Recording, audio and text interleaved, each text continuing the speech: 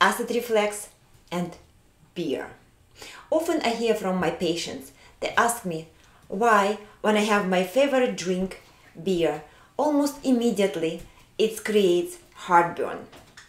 In order to understand why, you need to know a little bit about beer, a chemical structure of the beer.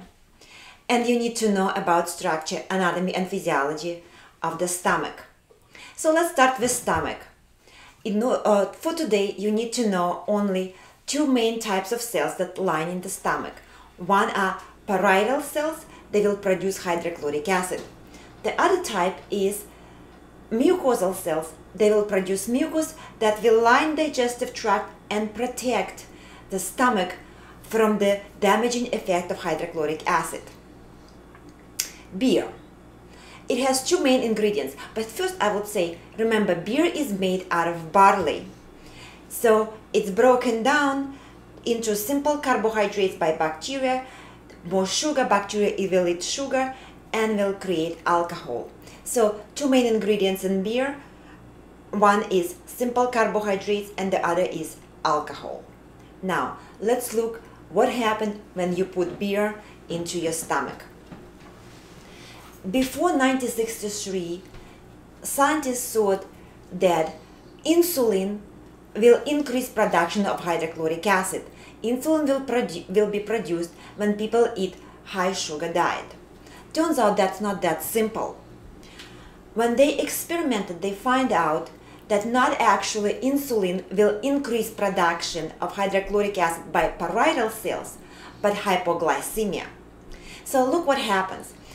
The moment you eat simple carbohydrates, sugar or simple carbohydrates almost immediately get absorbed into the bloodstream. Concentration of sugar will go high. Then the body will start to produce insulin to bring it down. Insulin becomes high, sugar drops, the drop of the sugar and low blood sugar called hypoglycemia and that's what stimulates parietal cells to produce hydrochloric acid. The second ingredient in the beer is alcohol. When alcohol get into your stomach, it will start to degrade of mucus.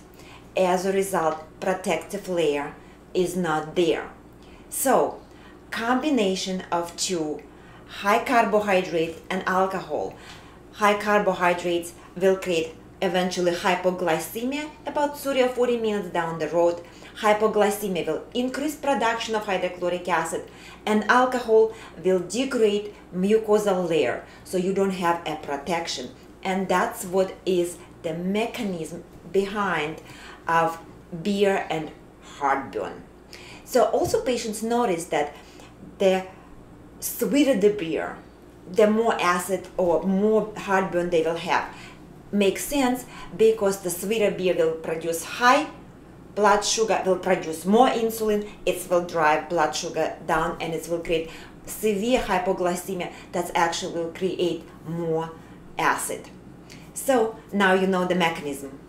Stay healthy with Dr. Veronica. Subscribe to my channel and see my other YouTube videos. Thank you.